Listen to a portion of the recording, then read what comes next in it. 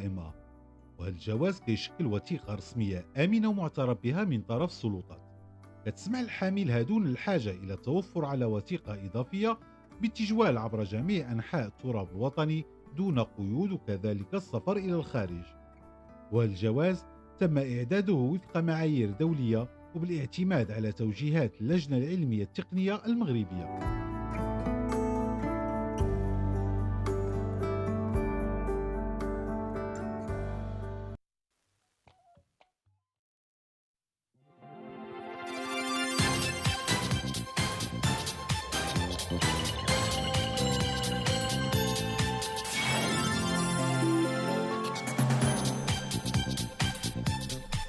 أيها السيدات والسادة أسعد الله مساءكم بخير وأهلا بكم ضمن هذه النشرة الإخبارية من قناة العيون نبدأها بأبرز العناوين.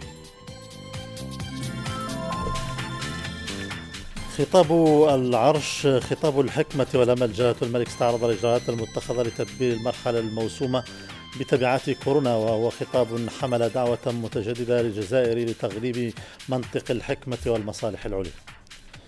نتابع في النشرة مناطق, التو... مناطق التوزيع والتجارة المستقبلية على مستوى المعبر الحدودي الجرجرات ستمكن الجهة من التموقع كمركز استراتيجي للتبادل بين المغرب وعمقه الإفريقي. تسجيل 6189 إصابة جديدة بفيروس كورونا المستجد و48 وفاة خلال 24 ساعة الماضية.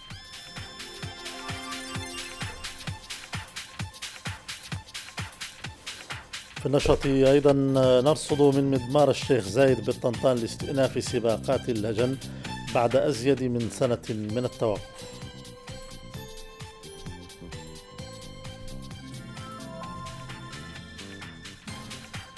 أهلا بكم من جديد.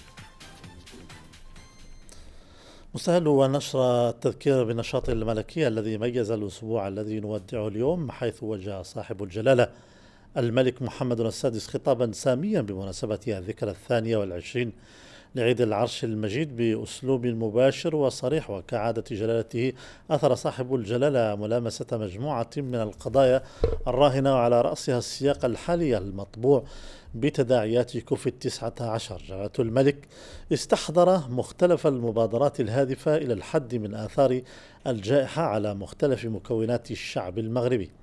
جلالته استحضر أيضا السياق الاقتصادي الواعد وتنزيل النموذج التنموي الجديد وخصص أيضا جلالته حيزا هاما للحديث عن العلاقات المغربية الجزائرية. أمس كذلك تميز باستقبال جلالته بالقصر الملكي بفاس ولبنك المغرب عبد اللطيف الجواهري الذي قدم جلالته التقرير السنوي للبنك المركزي حول الوضعية الاقتصادية والنقدية والمالية لسنة 2020 عبد الرحمن الهلالي يرافقه في لغة الإشارة محمد كتان.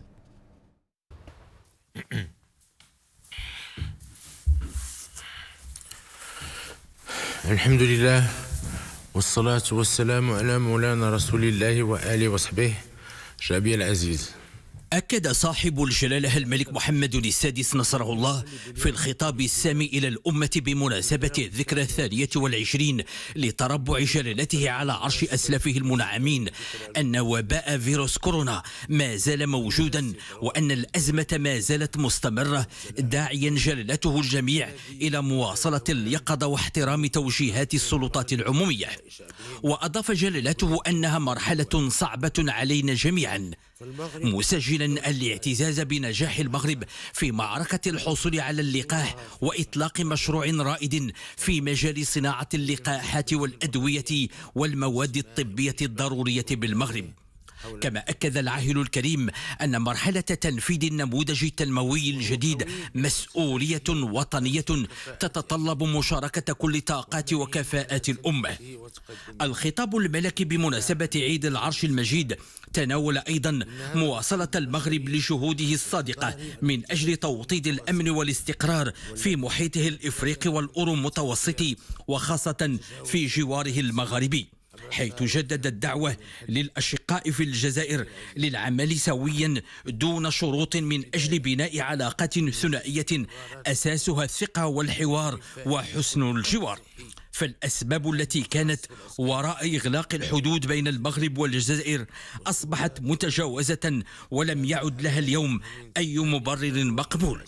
داعيا جلالته إلى تغليب منطق الحكمة والمصالح بين البلدين من أجل تجاوز الوضع المؤسف الذي يضيع طاقات المغرب والجزائر ويتنافى مع روابط المحبة والإخاء بين الشعبين. واعتبر صاحب الجلالة أن أمن الجزائر واستقرارها وطمأنينة شعبها من أمن المغرب واستقراره. أمس السبت أيضا استقبل صاحب الجلالة الملك محمد السادس والي بنك المغرب السيد عبد اللطيف الجواهري الذي قدم لجلالته التقرير السنوي للبنك المركزي حول الوضعية الاقتصادية والنقدية والمالية برسم سنة 2020 وقد أشار في بداية التقرير إلى أن السنة الماضية اتسمت بانتشار جائحة كورونا والتي لا زال المغرب كباقي بلدان العالم يعاني من استمرارها ومن تبعاتها كما أشار إلى أن الاقتصاد الوطني تأثر كذلك بظروف مناخية غير ملائمة مما نتج عنه انكماش بنسبة 6.3% وفقدان 432 ألف منصب شغل ونتيجة لتراجع الموارد الجبائية ومجهود الاستثمار الذي بدلته الخزينة تفاقم عجز الميزانية إلى 7.6% من الناتج الداخلي الإجمالي. وتزايد نسبة الدين العمومي إلى 76.4% من الناتج الداخلي الإجمالي. وبعد أن استعرض والي بنك المغرب الجهود المبذولة للتصدي للآثار الاقتصادية للجائحة أوضح أن ذلك مكن من ضمان تمويل ملائم للاقتصاد حيث شهدت على الخصوص أسعار الفائدة انخفاضا ملموسا وحافظت القروض البنكية على وتيرة نمو ثابتة. وأبرز أنه بفضل القيادة الحكيمة لجلالة الملك وتتبعه الصارم يجتاز المغرب هذه الأزمة تدريجيا مع تقدم واضح على مستوى التلقيح وانتعاش ملموس للاقتصاد وذلك رغم المخاوف التي تحيط بتطور الجائحة. مشيرا إلى أنه من المتوقع أن تفعيل صندوق محمد السادس للاستثمار وتشجيع الشراكة بين القطاعين العام والخاص إلى جانب تنفيذ خطة الإقلاع المقدرة بمبلغ 120 مليار درهم سيعطي زخما للاستثمار ولخلق فرص الشغل. والسلام على المقام العالي بالله ورحمة الله تعالى وبركاته.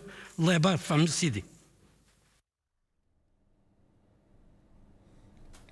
وقد ترأس مساء أمس عمال الأقاليم الجنوبية للمملكة مرفوقين بالعديد من الشخصيات المدنية والعسكرية حفلات إنصات لمضامين الخطاب الملكي السامي.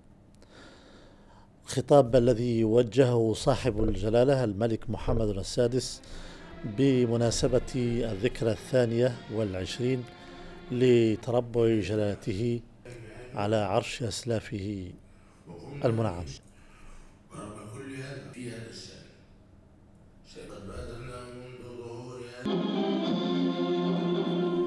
المغرب دولة عريقة. وللقوات الأمنية دولة أمنية. مقبولة من طرف على ذلك وهذا الخطاب لا يمكن أن يصد لمواصلة جهوده.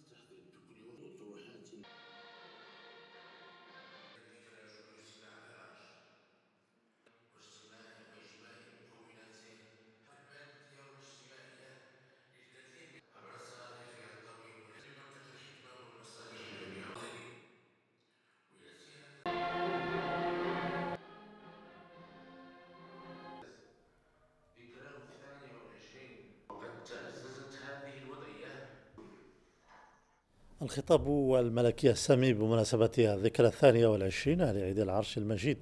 عكس رؤية متبصرة لجهات الملك تتجه إلى المستقبل. خطاب واقعي لم يفوت تذكير الجزائر بأن المغرب يجعل أمنه واستقراره من أمن الجزائر وطمأنينة شعبها كونهما أكثر من دولتين جارتين ولكنهما توأم.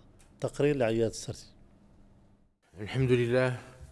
والصلاة والسلام على مولانا رسول الله وآله وصحبه شعبي العزيز.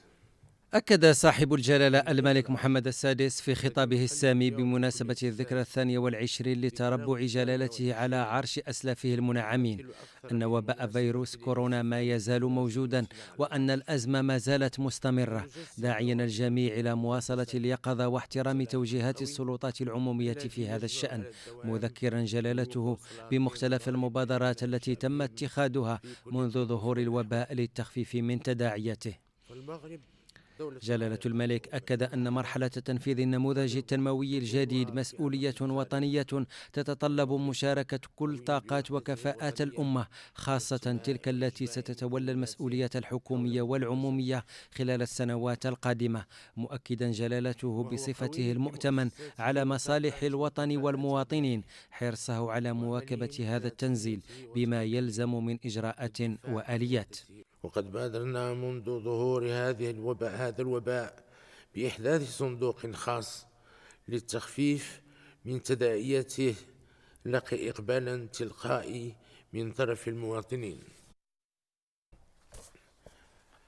كما أطلقنا خطة طموحة لإنعاش الاقتصاد من خلال دعم المقاولات الصغرى والمتوسطة المتضررة والحفاظ على مناصب الشغل.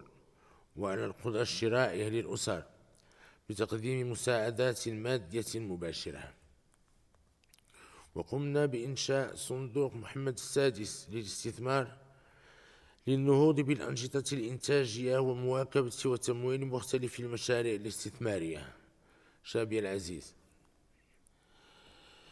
من حقنا اليوم أن نعتز أن نعتز بنجاح المغرب في معركة الحصول على اللقاح. التي ليست سهلة على الإطلاق. وكذا بحسن الحملة الوطنية للتلقيح للتلقيح والانخراط الواسع للمواطنين فيها.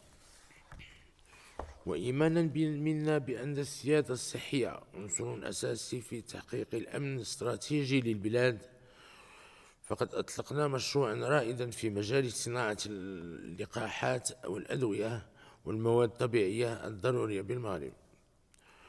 ورغم كل هذا لابد من التنبيه إلى أن الوباء ما زال موجود وأن الأزمة ما زالت مستمرة.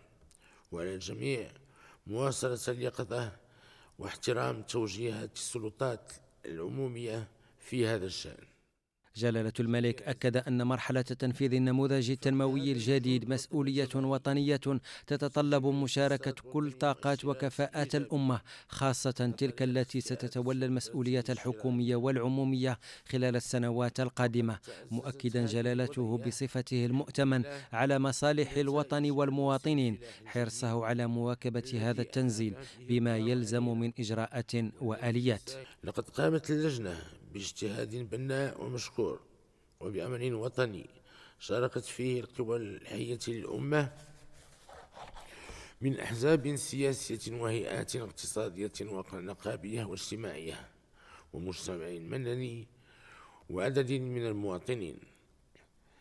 كما كان الشأن من مرحلة الإعداد فإننا نعتبر تنفيذ هذا النموذج مسؤولية أمنية تتطلب مشاركة تتطلب مشاركة كل طاقات وكفاءات الأمة خاصة تلك التي ستتولى المسؤوليات الحكومية والأمومية خلال السنوات القادمة. وإننا نتطلع أن يشكل الميثاق الوطني من أجل الميثاق إطارا مرجعيا من المبادئ والأولويات التنموية وتعاقد اقتصادي واجتماعي يؤسس لثورة جديدة للملك والشعب. وبصفتنا المؤتمن على مصالح الوطن والمواطنين سنحرص على مواكبة هذا التنزيل بما يلزم من إجراءات وآليات. جلالة الملك أكد أنه بالموازاة مع مبادراته التنموية على المستوى الداخلي فإن المغرب يحرص بنفس العزم على مواصلة جهوده الصادقة من أجل توطيد الأمن والاستقرار في محيطه الإفريقي والأورو متوسطي وخاصة في جواره المغاربي المغرب والجزائر أكثر من دولتين جارتين يؤكد جلالة الملك إنهما توأمان متكاملان داعيا جلالته فخامة الرئيس الجزائري للعمل سويا على تطوير العلاقات الأخوية التي بناها الشعبين المغربي والجزائري عبر سنوات من الكفاح المشترك. أعتبر أن أمن الجزائر واستقراره وطمأنينة شعبها من من من أمن المغرب واستقراره والعكس صحيح. فما يمس المغرب سيؤثر أيضا على الجزائر. لأنهما كالجسد الواحد ذلك أن المغرب والجزائر يعاني يعانيان معا من مشاكل الهجرة والتهريب والخدمات والاتجار في البشر. فالعصابات التي تقوم بذلك يعدون الحقيقي والمشترك. وإذا عملنا سويا على محاربتها سنتمكن من الحد من نشاطاتها من نشاطها وتجفيف منابئها ومن جهة أخرى سنتأسف للتوترات الإعلامية والدبلوماسية التي تعرفها العلاقات بين المغرب والجزائر.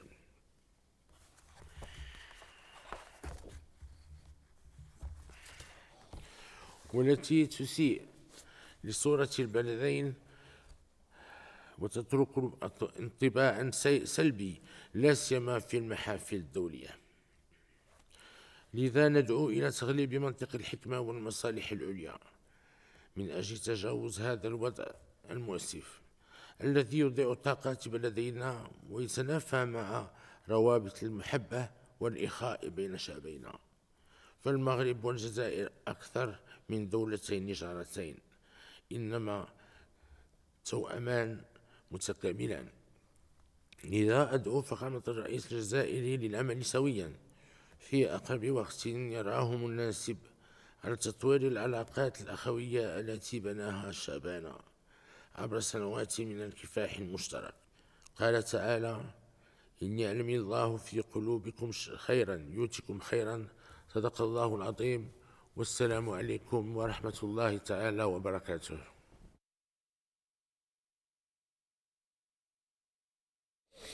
وللمزيد حول مضامين الخطاب الملكي السامي كان معنا في اتصال هاتفي المحامي والخبير في مجال حقوق الإنسان والمحلل السياسي نوفل بعمري لنستمع. خطاب العرش لهذه السنة آه، هو خطاب لا يمكن أن يوصف إلا بكونه خطاب لقائد وطني حقيقي لقائد يفكر بعقل استراتيجي داخليا وخارجيا. على مستوى الداخلي جلالة الملك بعد تحيته لمن ظلوا في الصفوف الأمامية من العاملين في القطاع الصحي والأمني. نظرا للدور الكبير الذي قام به بتنزيل إجراءات آه، استراتيجية التي وضعها جلالته لمحاربة آه، كورونا. فقد ذكر كذلك بالمعركة الكبيرة التي خاضها المغرب لإطلاق برنامج تصنيع اللقاح. وقدرة المغرب كذلك على توفير اللقاح للمغاربة حماية لأرواحهم وتحقيق السيادة الصحية للمغاربة وللمغرب. مشيرا كذلك في ذات الخطاب على قدرة الاقتصاد المغربي في الحفاظ على مختلف مؤشرات نموه رغم الظروف العصيبة التي واجه العالم وواجهتها مختلف اقتصاديات. كل ذلك راجع الاختيارات الكبرى التي اتخذها جلالة الملك منذ تقلده الحكم إلى الآن. الخطاب برز فيه صوت القائد الذي ينظر ببعد استراتيجي للمنطقة ككل وبوعي كبير لمختلف التحديات التي تواجه المنطقة خاصة من التحديات الأمنية على مستوى مواجهة الإرهاب مواجهة الجريمة المنظمة مواجهة تجار المخدرات وكذلك على مستوى مواجهة مواجهة مختلف التحديات التي آه، قد تعيق تحقيق التنمية والنهوض ديال المنطقة ككل. هذه التحديات آه، وفق جلالة الملك لا يمكن التغلب عليها إلا من خلال آه، تجاوز تعقيدات الماضي مع الجار الجزائرية وهنا أعاد جلالة الملك التذكير بمبادرة اليد الممدودة. هذه المبادرة التي ما فتئ جلالته يطلقها منذ سنة 2008 إلى الآن وإعادة تأكيده في هذا الخطاب خطاب العرش على اليد الممدودة للجار الجزائر وللدولة الجزائرية. هو تأكيد على كون الأمر يتعلق بدعوة صادقة من طرف جلالة الملك من أجل آه، فتح كل الملفات من أجل أن يكون هناك نقاش آه، يضم العاهل المغربي والرئيس الجزائري يكون مفتوحا ومنفتحا على آه، جل الملفات ومنفتحا ومتوجها نحو المستقبل. خطاب جلالة الملك في هذه النقطة يؤكد على وحدة المصير ما بين البلدين وحدة المصير ما بين الشعبين وعلى كون الأفق الوحيد الممكن الذي من خلاله قد نواجه مختلف الأسئلة التي يطرحها الشعبين الشعب الجزائري الشقيق والشعب المغربي لا يمكن أن تكون إلا من خلال آه، توحيد الجهود في إطار آه، تكامل سياسي تكامل اقتصادي للإجابة على هذه الأسئلة ولتحقيق طموحات آه، الشعبين. جلالة الملك كذلك أكد بشكل واضح على كون بعض الدعايات التي تصب في محاولة أن تصور المغرب وكأنه بلد فقير جدا فقد استعان جلالة الملك بشهادات الجزائريات والجزائريين الذين يزورون المغرب ومرحب بهم دائما في بلدهم الثاني المغرب أن هؤلاء الجزائريات والجزائريين هم شهود عيان على مختلف التقدم الذي آه، تم تحقيقه آه، بفضل قيادة جلالة الملك هذا التقدم الذي تم تحقيقه على مستوى الداخلي على مستوى المغرب. نريد اليوم أن نتقاسمه جميعا أن نتقاسمه مع الجارة الجزائرية أن نحقق هذا التقدم الجماعي من في المغرب وفي الجزائر وفي مختلف بلدان آه، شمال إفريقيا. الخطاب الملكي يؤكد على كون آه، دعوة آه، اليد الممدودة دعوة فتح الحوار دعوة فتح الحدود هي ليست فقط دعوات مناسباتية أو يعني دعوات عابرة بل هي تحمل في طياتها رؤية استراتيجية. قدمها جلالة الملك اليوم آه، مفتوحة للرئيس الجزائري تبون لكي يتجاوب مع هذه المبادرة الملكية التي قدمها في عيد العرش. رمزية عيد العرش وما يحمله من دلالة بالنسبة للمغاربة وبالنسبة للدولة المغ... بالنسبة للدولة المغربية وإعادة تقديم جلالة الملك لهذه الدعوة في هذه المناسبة الوطنية الكبيرة جدا. داخل المغرب هو تأكيد على صدق المغرب هو تأكيد على حسن نية المغرب اتجاه هذا البلد اتجاه آه، الشعب الجزائري واتجاه آه، الدولة الجزائرية. بمناسبة الذكرى الثانية والعشرين لعيد العرش المجيد أشرف والي جهة الداخل وادي الذهب وشخصيات مدنية وعسكرية على تسليم خمس سيارات لجهاز ترك الملكي وأربع سيارات لفائدة جهاز الأمن الوطني بالإضافة إلى حافلة للنقل لفائدة المدرسة الوطنية للتجارة والتسيير بالداخل. فائدة طلبت من مقر سكناهم نحو المدرسة الوطنية للتجارة والتسيير نبقى بجهة الداخل وادي الذهب حيث ستمكن مناطق التوزيع والتجارة المستقبلية على مستوى المعبر الحدودي للقرقرات ومركز بيرغندوز. ستمكن الجهة من التموقع كمركز استراتيجي للتبادل بين المغرب وعمقه الإفريقي بهدف منح زخم جديد لدينامية التنمية القوية التي تشهدها حاليا هذه الربوع من المملكة المغربية. وسيعمل هذا المشروع الضخم على تعزيز الروابط الاقتصادية والتجارية بشكل مستمر بين المغرب وباقي بلدان إفريقيا حيث من المرتقب أن يمنح دفعة قوية للدينامية الاجتماعية والاقتصادية في الجهة بهدف دعم المقاولات والتشغيل والاستثمار. تقرير لبكات دريمي ومحمد الداس.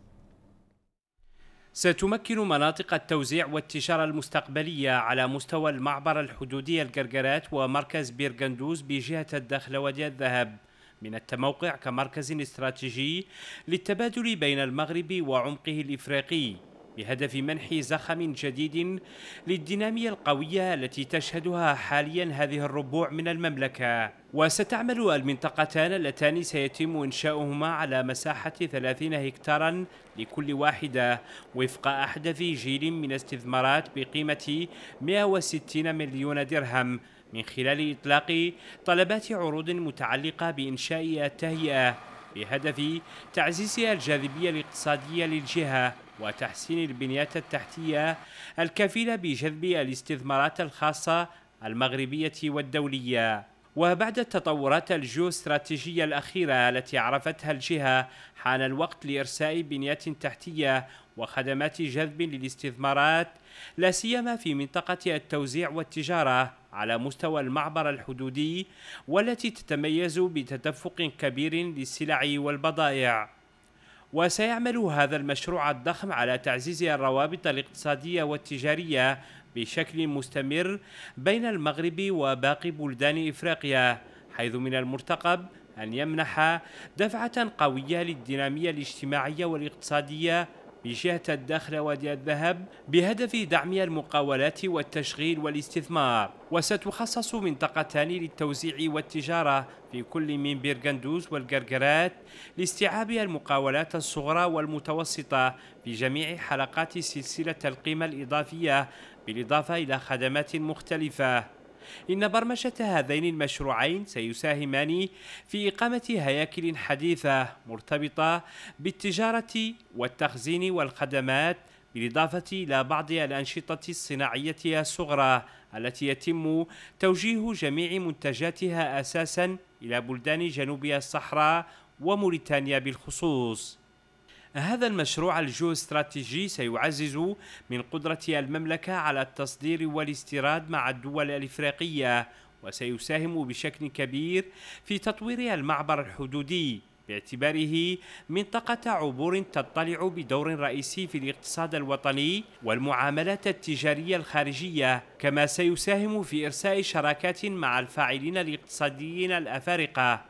هذه المنطقة ستساهم أيضا في خلق اليد العاملة وتحفيز النشاط الاقتصادي في بيرغندوز والقرقرات.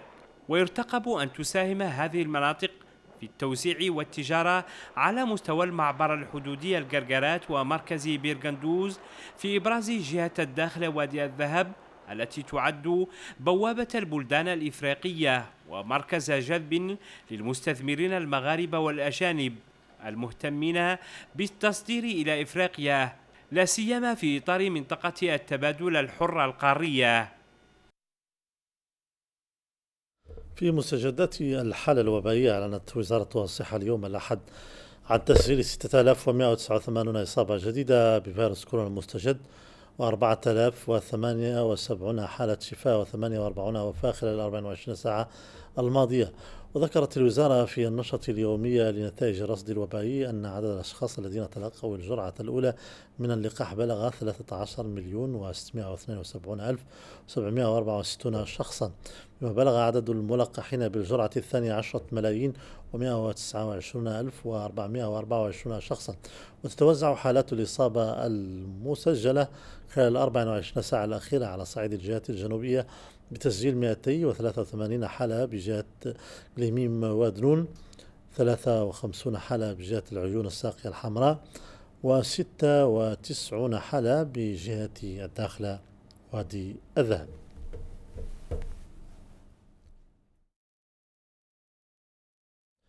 في موضوع آخر تراص صاحب صباح اليوم والي جهة العيون الساقية الحمراء حفل رفع اللواء الأزرق بشاطئ فم الواد وذلك للمرة الرابعة عشرة على التوالي لاستجابته لمعايير جودة المياه والسلامة أثناء الاستجمام.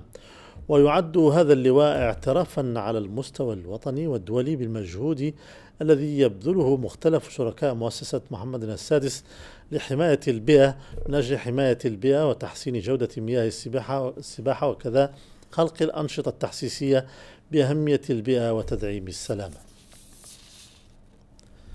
إلى ميدان الشيخ زايد بن سلطان آل نهيان لسباقات الإبل بطنطان الذي استأنف منافسات سباقات الإبل بعد توقف امتد لسنة ونصف بسبب تفشي وباء كورونا. منافسات تديرها الاتحادية العامة لسباقات الهجن بالمغرب بدعم من اتحاد سباقات الهجن بدولة الإمارات العربية المتحدة.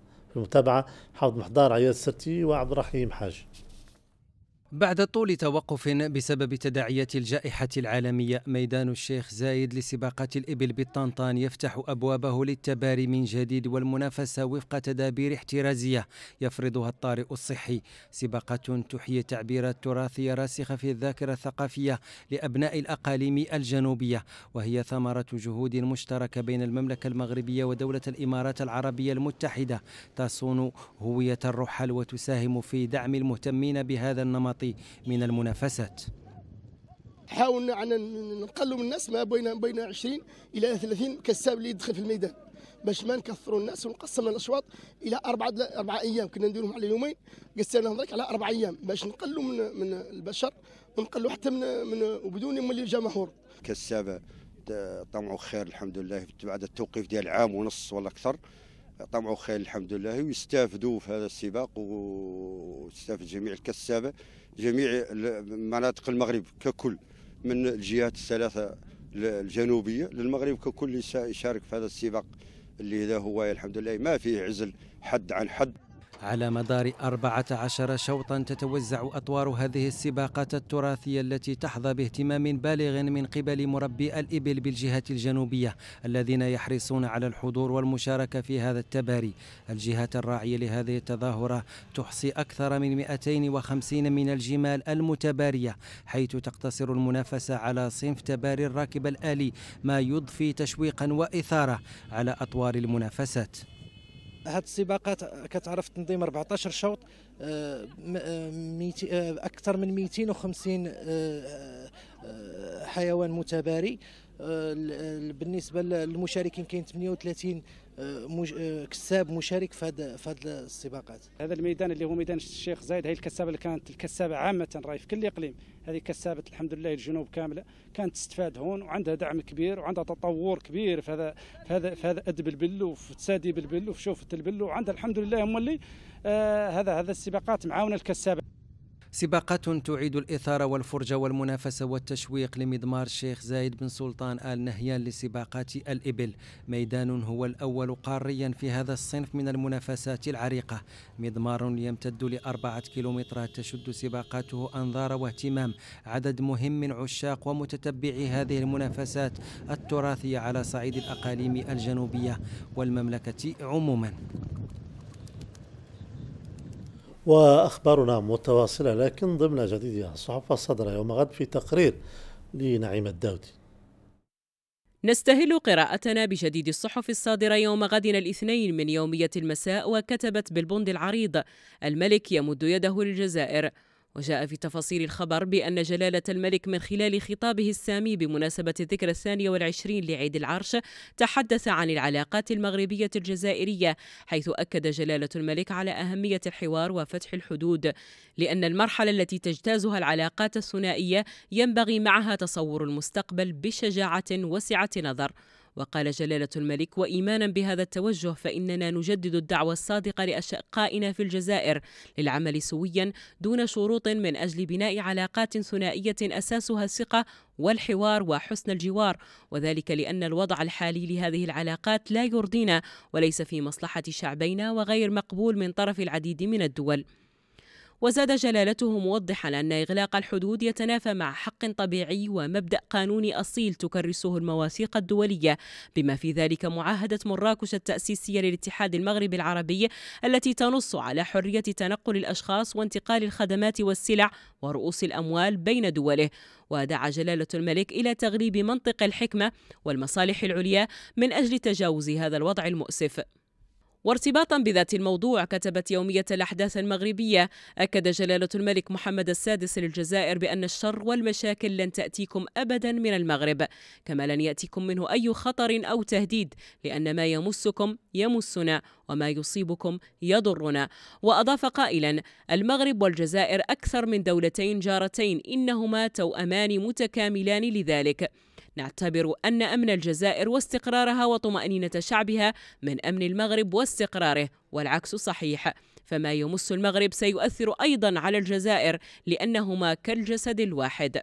صحيفة أنفاس بريس الإلكترونية كتبت في آخر مستجداتها الإخبارية أكد الأكاديمي عبد الفتاح بالعمشي أن الدعوة الموجهة للجزائر من الملك محمد السادس في خطاب العرش تعكس موقفا بناء لصالح تنمية البلدين. وقال أستاذ العلاقات الدولية في جامعة القاضي عياض بمراكش في تصريح له أن الدعوة الصادقة بدون شروط مسبقة لتغليب الحكمة والمصالح العليا للبلدين تعكس رؤية استراتيجية بين المغرب والجزائر معتبرا أنه فقط علاقات حسن الجوار يجب أن تسود بين البلدين. وأضاف أن هذا الموقف يبشر ببداية جديدة في العلاقات الثنائية ويتيح إطارا دبلوماسيا متميزا ويجعل أي حدث أو حادث سابق متجاوزا.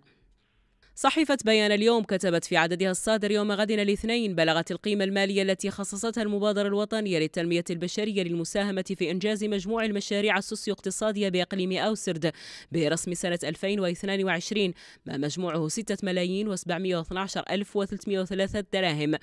فقد صدقت اللجنة الإقليمية للتنمية البشرية بأوسرد خلال اجتماع ترأسه عامل الإقليم على مخطط العمل لسنة 2020 بهدف تفعيل المشاريع المتعلقة بالبرامج الأربعة للمبادرة الوطنية للتنمية البشرية. ويتعلق البرنامج الأول بتدارك الخصاص المسجل على مستوى البنى التحتية والخدمات الأساسية بالمجالات الترابية الأقل تجهيزا. وذلك رصد له غلاف مالي يصل إلى 600 ألف درهم. ويتضمن مشروعا واحدا صادق عليه أعضاء اللجنة يهم اقتناء سيارة إسعاف لتقليص الفوارق المجالية والاجتماعية بالعالم القروي. انتقل إلى عفو الله المامي مرزوق عن عمر يناهز 86 عاما المرحوم من قبيلة الشرفاء الرقبات ولاد بورحيم وانتقل إلى رحمة الله الفقيد محمد سالم هويبة عن عمر يناهز 75 عاما الفقيد ينتمي لقبيلة العروسيين ولاد الخليفية.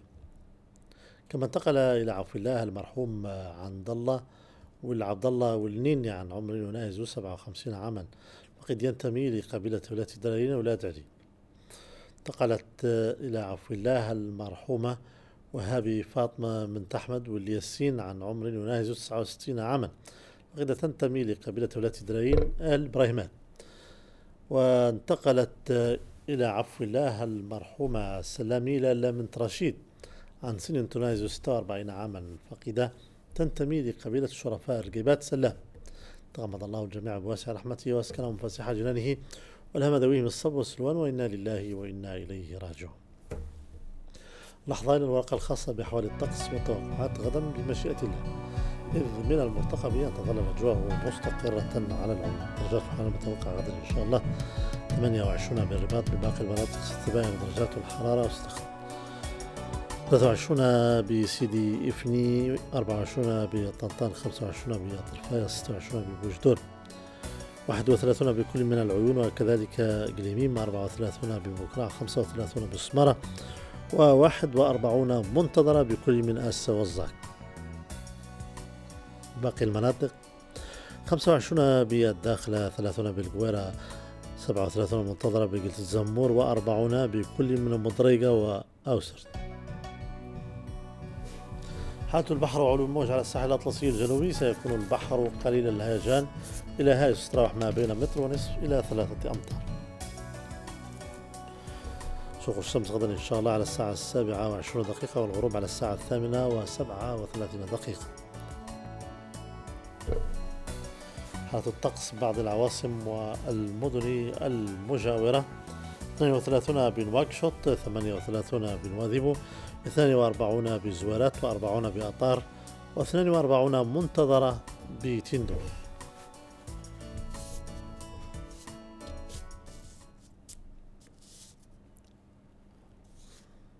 والآن إلى تذكير بأبرز عناوين هذه النشر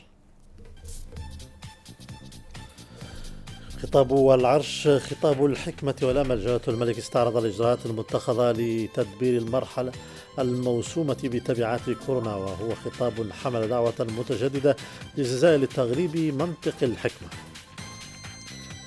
تابعنا في النشرة مناطق والتوزيع والتجارة المستقبلية على مستوى المعبر الحدودي القرقرات ستمكن الجهة من التموقع كمركز استراتيجي للتبادل بين المغرب وعمقه الإفريقي. تسجيل 6189 إصابة جديدة بكورونا المستجد و48 وفاة خلال 24 ساعة الماضية.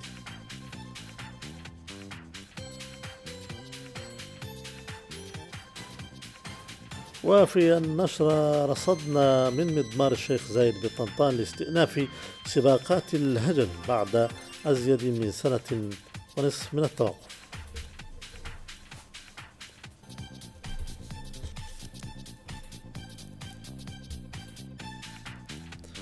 تأتي النشرة الإخبارية إلى اللقاء.